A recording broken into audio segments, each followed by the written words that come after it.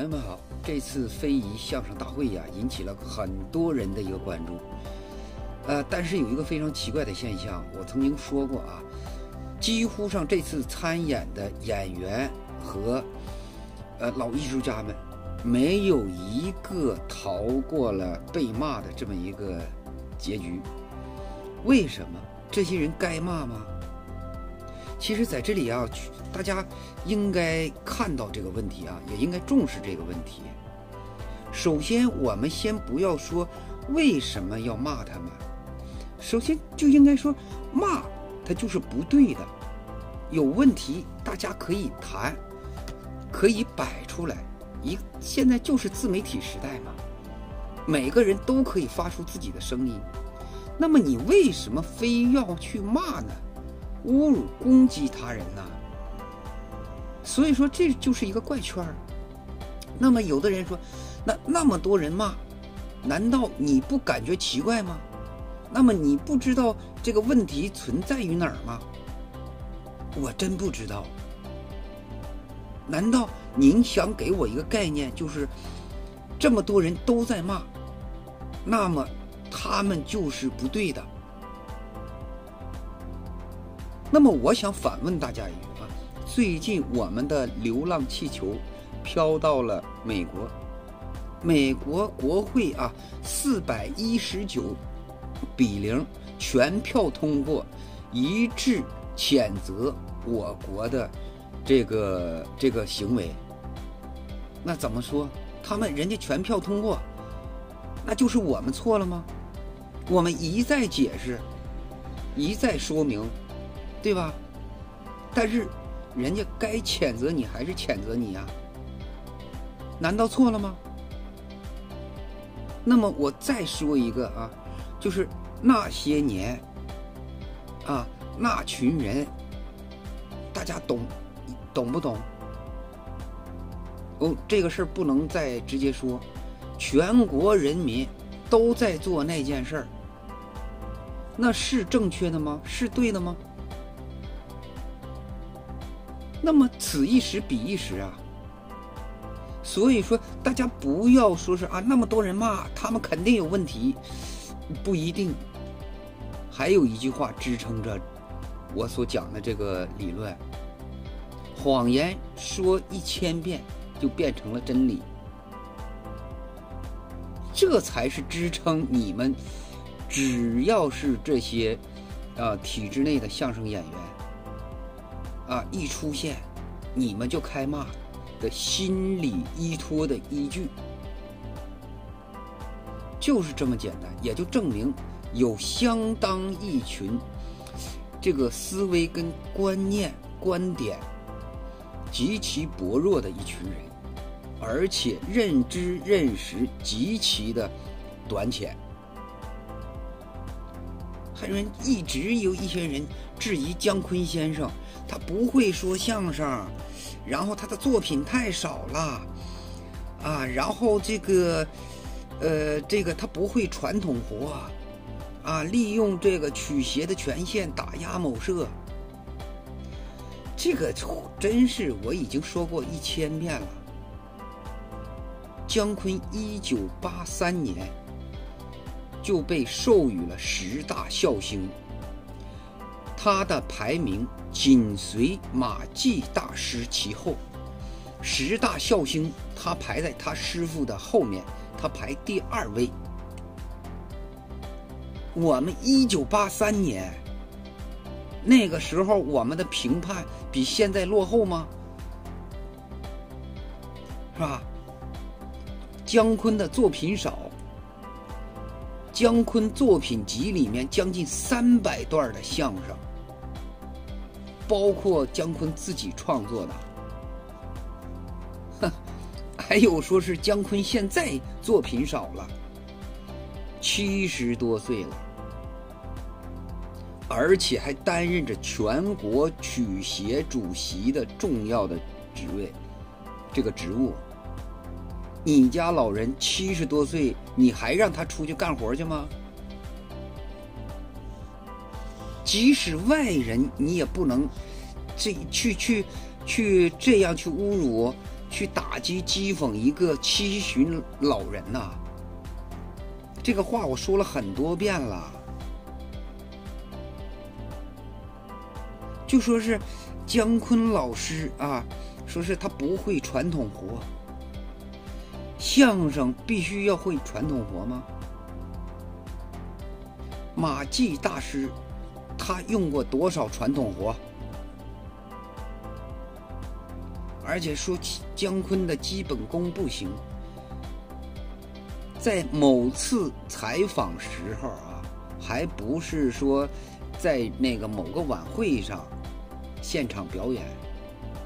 记者采访的时候，他临时说了一个贯口，那也是七十来岁的一个老人，那人家基本功不行，基本功不行，在这个相声圈里面。混成现在就是一个大佬级别的存在，你去混呐？这么好混，你怎么不去呢？什么德不配位？姜昆做了哪件事情？啊，只要一提到这个问题上，就是姜昆先生打压某社。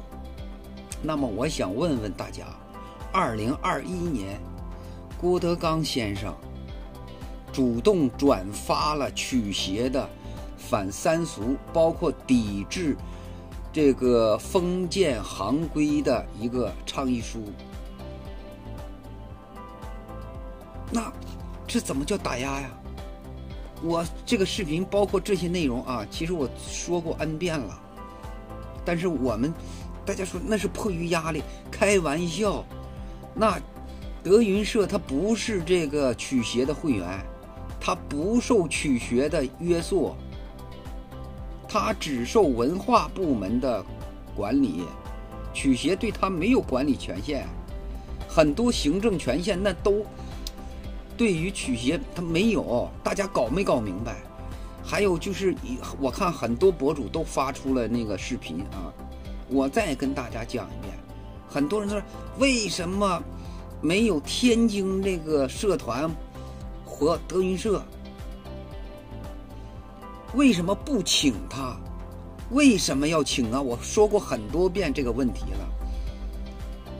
你自己不申请，还要别人去邀请你，别人想去去不了，你想去去不了。你写你写一万张申请表，你也去不了，你不配。哼，明白了吗？如果大家想带节奏的话，那朋友们，那这个节奏你带不起来，大家不感觉特别奇怪吗？在评论区里面啊，直播室那个评论区里面，那么多人口径一致，就是在粘贴复制，这有人在带节奏，所以说我们很多朋友就把这个节奏就带起来了。而且在这里，我要想郑重的跟大家说，你们不要以为在替老郭、郭老师这个叫冤鸣不平，然后去我我我我是在替郭老师这个骂人，这个你们是在给郭老师挖坑。那曲协、曲艺部、那曲艺界，那是一盘。哎，一大家，大家看一看，人家郭老师可现在很多年了，与这个所谓的曲协人员接触非常密切。然后我们很多的人就是在这里面互相撕扯，在这里面最关键就是那几个博主在带节奏，这可不是在帮郭老师，这是在给他挖坑。有事儿说事儿，为什么要骂人？为什么要黑人？很多人都在我评论区下面留言，啊，不黑他黑谁？大家听听用的这个词汇，因为他们就是为了黑的，而不是因为要解决问题、说事儿拉理。那朋友们，这样明显、这么下作的手段，这是明晃晃就说了，我就黑他。因为他黑我就黑他，大家看我的视频啊，我从来没有黑过任何人，就是摆事实、讲道理。你听就听，而且在我评论区里面，呃，很多人都用呃骂人，你们就这水准吗？那你说你在那骂人，人家能不骂你吗？如果正常留言、正常交流，没有一个会反驳。有很多时候，我们一些那个粉丝朋友啊，我在跟你说事儿，你怎么开始怼我呢？大家一定你自己先看一看，你自己说的是个什么。你上来就汤汤汤汤汤，把你自认为、自以为是的一些东西，道听途说的东西，比如说这个主流、非主流的问题。这个主流与非主流的问题，我下个视频再跟大家讲。大家不要认为，就是这个主流和非主流是个什么好话。非主流，那是在自自己贬低自己。那么这个话题，我会在下个视频里跟大家讲。因为很多人就说啊，我们就是非主流。你因为你不知道什么叫非主流，非主流。它的含义是什么？还有一个就是姜昆，大家都在传是姜昆老师分出的主流与非主流。你们自己去搜一搜这个姜昆老师这个视频，很容易就能搜得到。你们真的有很多人，我就有对某些啊见识非常短浅、井底之蛙的那一一群人。我感觉你们带节奏，呃，带的就是怎么讲呢？挺匪夷所思的。但是我更惊讶，就是我们很多网友朋友，你们去搜一搜姜昆到底是怎么说的？这个主流与非主流是怎么提起来的？是怎么说的？是谁在划定这个主流与非主流？所以说，真的朋友们，我我这个标题。就叫做是谁在为郭德纲挖坑树敌？你们这样就是在给郭老师挖坑，这不是在帮郭老师。我不知道你们能不能听明白话。很多人哎，不管三七二十一，上来就是骂。你说你们带着这种心态，别人说啥，你都认为。是在，只要我们不骂这个所谓的主流，就是跟郭德纲不是一伙的，不对。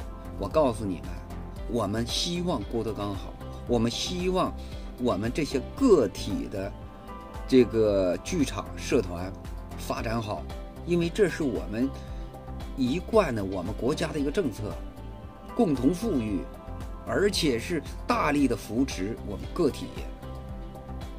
但是大家就认为替郭德纲我骂两句儿啊，我就是爱着德云社，爱着郭德纲，我就是在挺他。你见过我们生活当中，你为了去挺一个人，或者你跟他关系好，你张嘴就去骂别人，有那么干的吗？那不是在为他树敌吗？你那不是在给他挖坑吗？你骂完了，你拍拍屁股走了。谁在那遭罪呀？大家能明白吗？我希望你能听明白话。